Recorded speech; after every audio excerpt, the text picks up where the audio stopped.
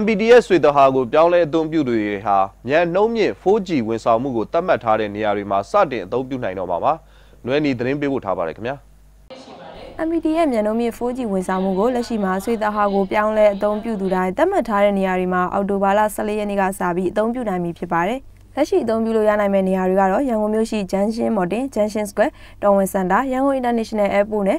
MPD စုလေ Brand Test တို့စတဲ့နေရာတွေမှာအသုံးပြုနိုင်မှာပါ။ MPD KSGN Joint Operation ရဲ့ Chief Commercial Officer ကတော့ 4G ဝန်ဆောင်မှုကိုမြန်မာတိုင်းနိုင်ငံလုံးအတိုင်းအတာနဲ့အသုံးပြုနိုင်အောင်တိုးချဲ့သွားမှာဖြစ်တယ်လို့ 4G ဝန်ဆောင်မှုနဲ့ပတ်သက်တဲ့သတင်းစာရှင်းလင်းပွဲမှာပြောပါရယ် 4G ဝန်ဆောင်မှုကတော့လက်ရှိအသုံးပြုနေတဲ့2.1 GHz Spectrum line နဲ့စတင်အသုံးပြုနိုင်မှာဖြစ်ပြီး2019ခုနှစ်မှာကျွန်တော်တို့က1.8 GHz ကိုအသုံးပြုပြီးတော့မြန်နှုန်းကတော့85 MHz အထိတိုးချဲ့အသုံးပြုနိုင်မှာဖြစ်ပါတယ်။ဒါကြောင့်လင်းမြန်တဲ့ဆက်သွယ်ရေးဝန်ဆောင်မှုကိုလှုပ်ဆောင်နိုင်မှာဖြစ်ပါတယ်။ဝန်ဆောင်မှုကိုအ သုံးပြုနိုင်တဲ့ mobile phone တွေကိုလည်းမိတ်ဆက်ပေးသွားမှာဖြစ်တဲ့ပြင်မြန်မာတိုင်းနိုင်ငံလုံးအတိုင်းအတာနဲ့အသုံးပြုနိုင်အောင်တိုးချဲ့သွားမှာဖြစ်ပါတယ်။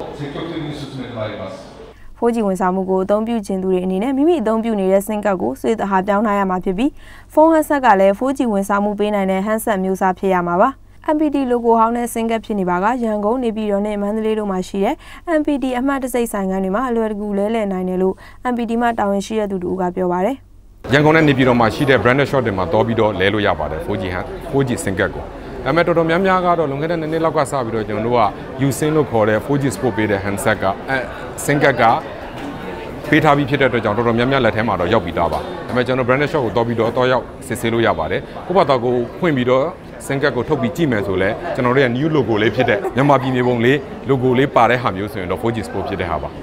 မြန်မာဆက်သွယ်ရေးလုပ်ငန်း MPD ဟာမြန်မာနိုင်ငံရဲ့ဆက်သွယ်ရေးလုပ်ငန်းတွေထဲမှာလက်ရှိချိန်ထိမြန်မာတနိုင်ငံလုံးအတိုင်းအတာနဲ့ကွန်ရက်လွှမ်းခြုံနိုင်မှုက96ရာခိုင်နှုန်းထိရှိနေပါတယ်။တနိုင်ငံလုံးတိုင်းတာနဲ့သုံးဆွဲသူတန်း20ကျော်ရှိနေပြီဖြစ်ပါတယ်။ MPD နဲ့အကျိုးတူပူးပေါင်းဆောင်ရွက်နေတဲ့ဂျပန်ကုမ္ပဏီတွေဖြစ်တဲ့ KDDI, Sumitomo တို့ဟာအမေရိကန်ဒေါ်လာ2ဘီလီယံကျော်ယင်းနှိမ့်မြုပ်နှံမှာဖြစ်ပါတယ်။အဲဒီယင်းနှိမ့်မြုပ်နှံမှုကလည်းမြန်မာနိုင်ငံအတွင်းအကြီးမားဆုံးဂျပန်နိုင်ငံရဲ့ယင်းနှိမ့်မြုပ်နှံမှုတစ်ခုလည်းဖြစ်ပါတယ်။ကျွန်မကတော့နေနေပါရှင်။